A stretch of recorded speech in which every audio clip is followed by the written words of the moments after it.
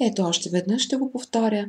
Добре е да насочите зърното към носа на бебето или към горната усничка, то да отклони главичка назад, широко да отвори устата, след което, виждайки широко отворената уста, вие бързичко да привлечете бебето навътре към гърдата, а не гърдата към бебето, така че то да охване голяма част от ареалата.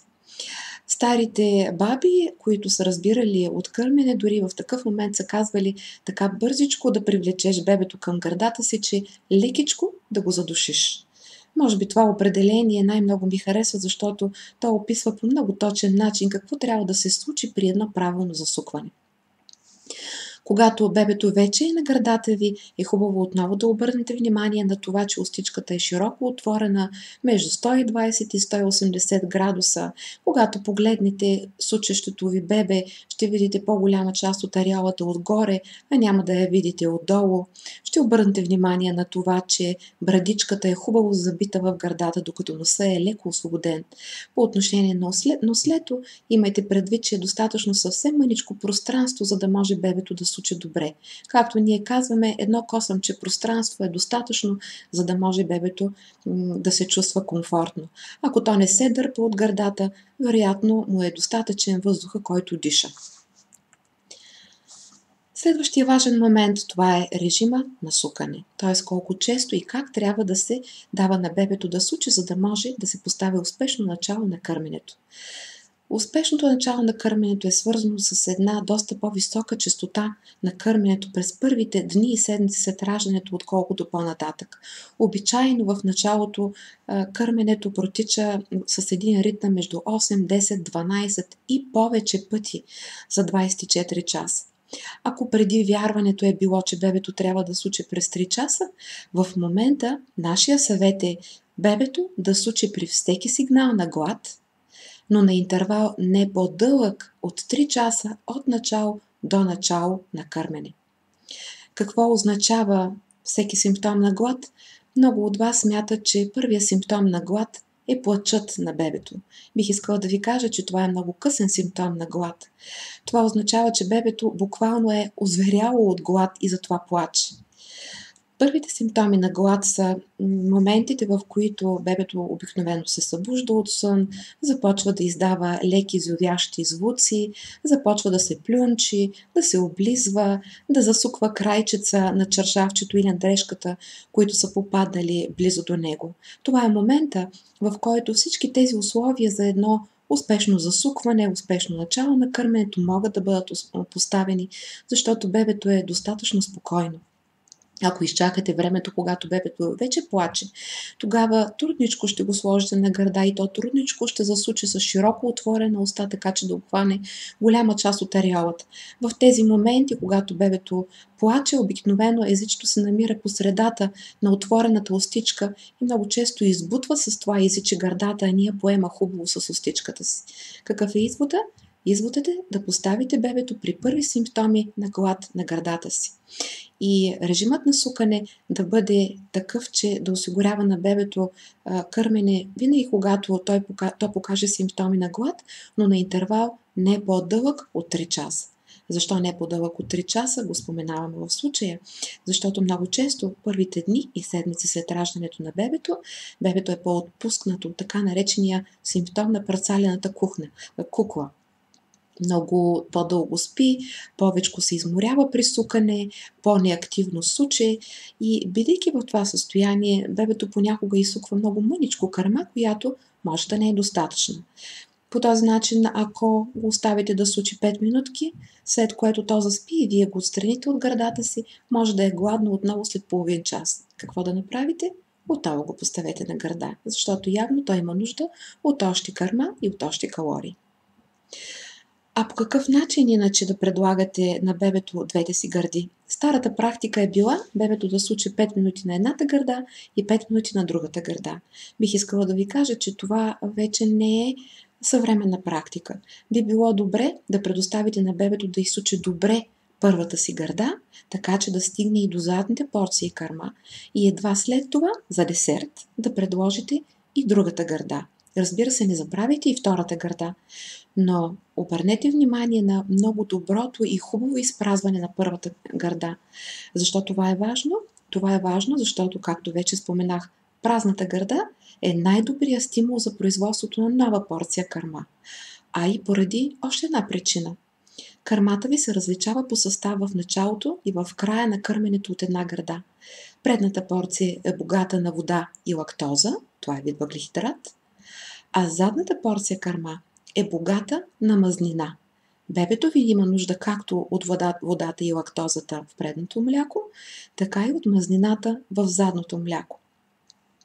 Осигурявайки на бебето изсукването на първата гърда до край и втората гърда за десерт, дава възможност за разнообразие от вещества, които да получи вашето бебе. Много важно е също и по време на това сукане, когато бебето е на гърда, да не го оставяте много да спи на гърдата ви, а активно да го будите, за да може да получи достатъчно мляко. Как да го будите активно?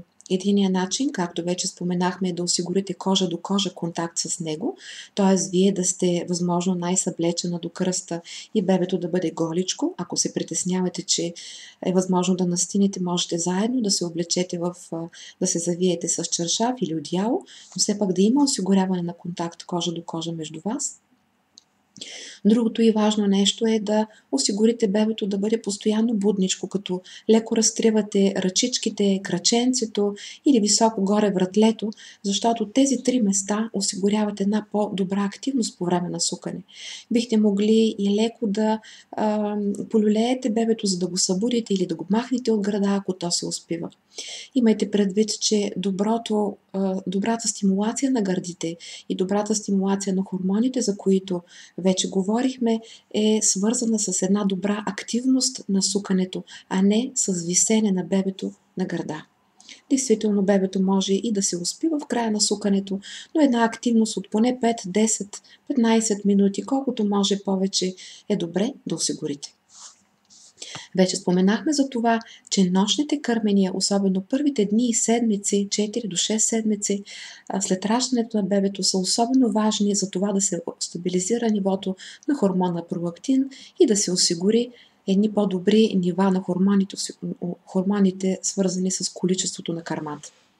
Трябва ли да предлагате на бебето от раждането в началото на кърменето биберони и биберони за лагалки? Отговорът е избягвайте ги. Избягвайте ги колкото можете повече, защото понякога ви е трудно да се ориентирате кога бебето показва симптоми на глад. Предлагайки често биберони и биберони за лагалки, не става ясно кога бебето е гладно и кога то е само неспокойно. И последния важен момент, на който исках да обърна внимание, какъв, какво да бъде началото на кърменето след секцио или след състояние, при които се е наложил отделяне на бебето от вас. Било то преждевременно раждане или някаква неудача при раждането на бебето.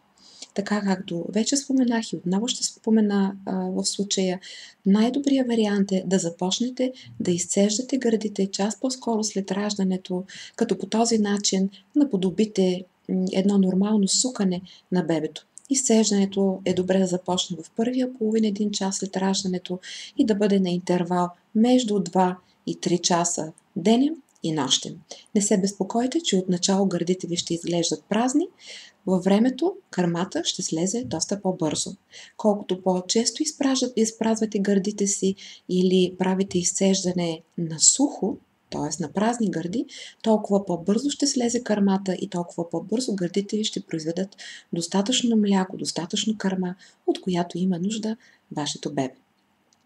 Тези бяха най-важните моменти, касаещи началото на кърменето, на които исках да обърна внимание днес. А сега ще прочета няколко въпроса, които сте ни задали в сайта Дечко.бг. Първият въпрос е на Иванка Димитрова от Варна.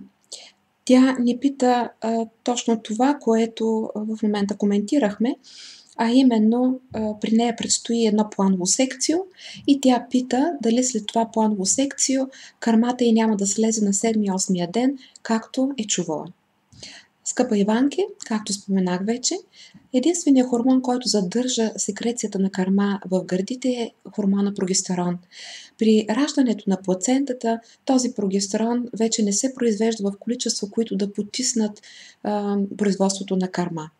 Така че, ако вие започнете да изсеждате гърдите си на сухо, час по-скоро след раждането, в момента в който дойдете на себе си след анестезията, на всеки 2-3 часа през деня и през нощта, кърмата в гърдите ви ще се образува също толкова бързо, колкото ако сте родили по нормален път.